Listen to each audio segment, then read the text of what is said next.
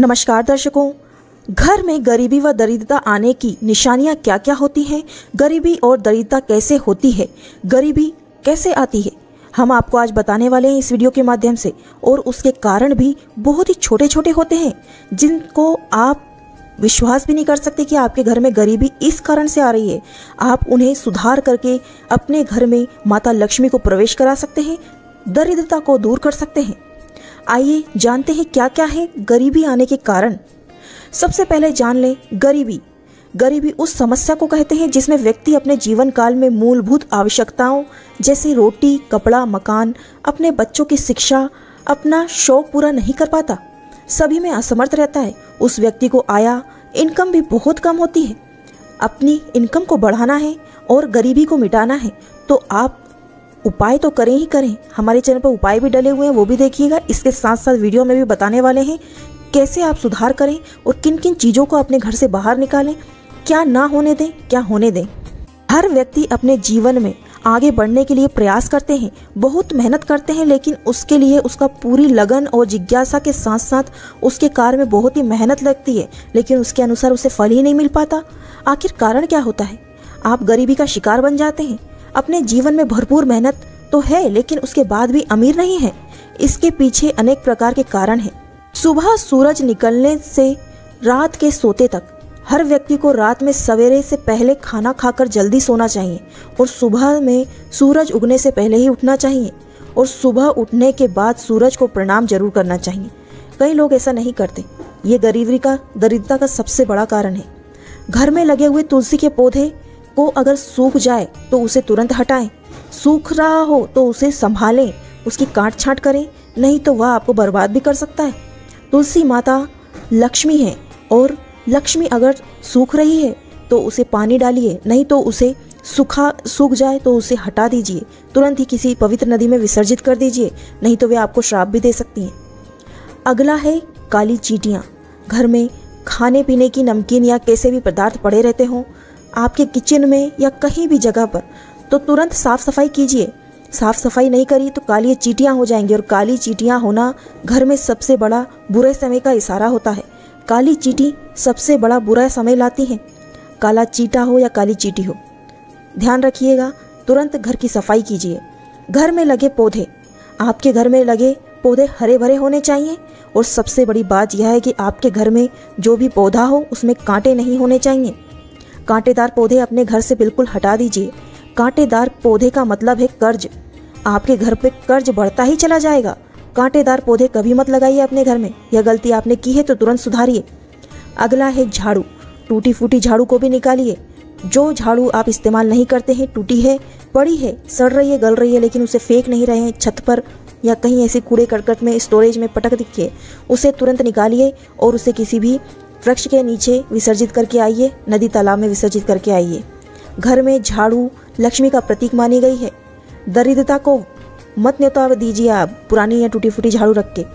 जो भी सामान आपके घर में टूट फूट रहा है, कांच का, जैसे चाय पीने वाला मग, या फिर कोई भी बर्तन, स्टील का, पीतल का, तांबे का, कट रहा है, टूट रहा है, उसे तुरंत हटा दीजिए। टूटे फूटे बर्तन में भोजन ना कीजिए। वे गरीबी और कंगाली को इशारा करती हैं। अगला है छिपकली। छिपकली आपके घर में होना बहुत ही शुभ माना जाता है।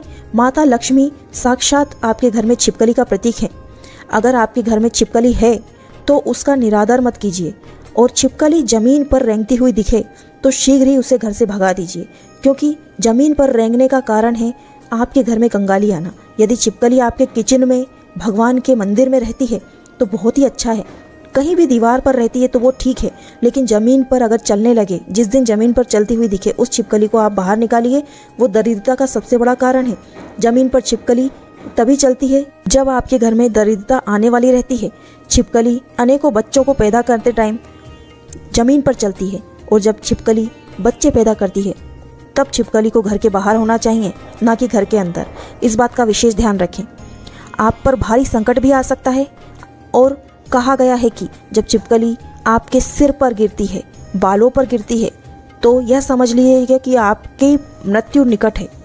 नज़दीक है, इस बात का प्रमाण है वास्तुशास्त्र में और कई ऐसे तंत्रिक विद्याओं में भी कहा गया है कि छिपकली सिर पर गिरना बहुत ही अशुभ माना जाता है, मृत्यु का निकट होना माना जाता है। आप छिपकली से दूर रहें, घर में हैं, ठीक है, लेकिन उससे दूरी बनाए रखें। अगला है कौआ अगर किसी स्त्री के सिर पर कौआ आकर बैठ जाए तो उसके पति को कोई बड़ी मुसीबत आने से नहीं रोक सकता। कौए से दूर रहें। कौआ अगर दिख जाए तो उसे घर से भगाने की कोशिश करें। कौआ छत पर आकर बहुत सारे आपको इशारे करता है। यदि आपके घर में कौआ आता हो तो उसे घर पर नहीं बैठने दे ज़्यादा देर तक। कौआ घर पर आकर आवाज़ करना शुभ नहीं होता। इशारा देता है आपकी कंगाली को। बिल्ली। घर में बिल्ली का रोना भी बहुत ही ज़्यादा कंगाली का प्रतीक होता है। घर में दरिद्रता का प्रवेश होता है। बिल्ली कही जाए तो एक हमारी हिंदू संस्कृति में बिल्ली को अशुभ माना जाता है। कई जगह पर बिल्लू को शुभ भी माना जाता है, लेकिन कई जगह पर बिल्ली को अशुभ माना जाता है। हमारे देश में बिल्ली रोते समय बहुत ही अशुभता फैलाती है। बिल्ली जब रोती है तो हमारे घर में कुछ बुरा होने का संकेत होता है।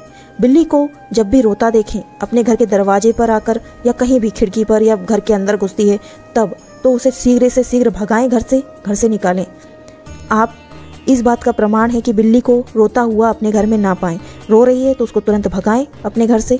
अगला है, आपके घर में अगर कोई भी सूरज ढलने के बाद, यानी शाम के टाइम शाम के बाद कोई भी आपके घर में किसी भी चीज़ को मांगने आए, कोई भिखारी आए या आस पड़ोस के लोग आए या मित्र आए या फ्रेंड आया कोई भी आया, रिश्तेदार आया, कुछ भी मांगने आ रहा है, उसे कुछ भी ना दें।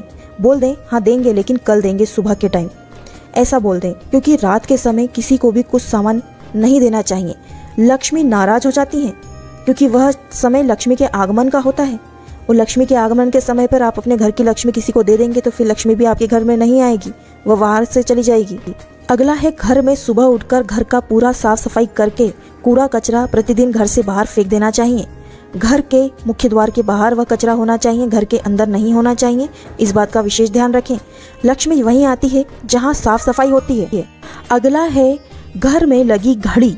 आपको बहुत संकेत देती है। यदि आपके घर में घड़ी बंद पड़ी है तो उस घड़ी को चालू कीजिए या फिर घर से निकाल दीजिए।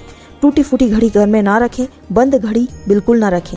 जो भी घड़ी है आपके घर में हाथ में पहनने वाली, दीवार पर टांगने वाली, सब में आप टाइम सेट करके, चालू करके रखिए। आप बंद घड़ी रखेंगे तो आपकी किस्मत भी बंद हो जाएगी। वहीं के वहीं आपका समय चलना बंद हो जाएगा। बस आपकी ज़िंदगी ऐसी ही लटकती हुई नज़र आएगी। यदि आप किसी शमशान में जाते हैं तो वहाँ बिल्कुल मत हंसीए, शांत रहिए। रसोई घर के पास टॉयलेट ना बनवाइए। रसोई घर के पास भगवान का स्थल बनवाइए या कोई रूम बनवाइए। जब भी भोजन करें, हाथ धोए बगैर भोजन ना करें। शाम के समय बिल्कुल ना सोइए। मेहमान आने पर नाराज़ ना होइए। दांत से नाखून ना काटना, औरतों को खड़े खड़े बाल नहीं संवारने चाहिए खड़े खड़े बाल नहीं बांधने चाहिए, दरिद्रता का सबसे बड़ा कारण है। यदि किसी नदी में आप पवित्र नदी में स्नान करने जा रहे हैं तो वहाँ जूते चप्पल ना पहने, उस नदी में पेशाब बिल्कुल ना करें, गाय बैल को लात ना मारें। किसी गरीब का अपमान ना करें और किसी गरीब को धोखा भी ना दें। कई लोग ऐसे होते हैं जो सब्ज़ी बाजी खरीदने जाते हैं छोटी मोटी ऐसी चीज़ें खरीदने जाते हैं, किसी गरीब को धोखा देकर आ जाते हैं, उसका सामान चोर लाते हैं या फिर उसको ठग लेते हैं। ठगने वाले बहुत से लोग बैठे हैं जो बेचने वाले से ज़्यादा खरीदने वाले ठग लेते हैं। ऐसा ना करें, किसी गरीब के पेट पर लात ना मारें। रात के समय झाड़ू बिल्कुल ना लगाएँ। मकड़ी के जालों को टाइम टू टाइम अपने घर में साफ़ सफ़ाई करते रहें, जालों को उतारते रहें। जूते चप्पल मुख्य द्वार के सामने ना रखें। दीपक को फूक मारकर कभी नहीं बुझाना चाहिए। मंदिर को साफ़ सुथरा रखना चाहिए। अपने घर का मंदिर हो, उसमें सफ़ाई बिल्कुल अच्छे से रखना चाहिए, गंदगी बिल्कुल नहीं होने देना चाहिए। और इस बात का विशेष ध्यान रखें कि घर की महिलाएँ, जो भी शादीशुदा महिलाएँ हैं, अपने मस्तक पर बिंदी ज़रूर लगाएँ। मस्तक पर बिंदु और गले में मंगलसूत्र ज़रूर पहने, क्योंकि हिंदू धर्म में मांग में टीका, मस्तक पर बिंदी और मंगलसूत्र सुहाग की निशानियाँ होती हैं। यह बात अलग है कि कोई विधवा हो तो वह ठीक है, लेकिन विधवा औरत भी सर पर पल्लू ज़रूर रखे। इस बात का प्रतीक है माता लक्ष्मी। माता लक्ष्मी की कृपा प्राप्त करनी है तो अपने घर में इन नियमों को ज़रूर अपनाएँ और जो हमने उपाय बताए हैं, उन उपायों को अवश्य करें। आपको अति शीघ्र लक्ष्मी की प्राप्ति होगी। दरिद्रता को दूर कीजिए, लक्ष्मी को अपने घर में प्रस्थान दीजिए। दर्शकों, और भी कई उपाय हैं जो हमने अपने चैनल पर डाल रखे हैं। हमारे चैनल पर नए तो सब्सक्राइब ज़रूर कर लीजिएगा बेलाइकन के साथ। श्री शिवाय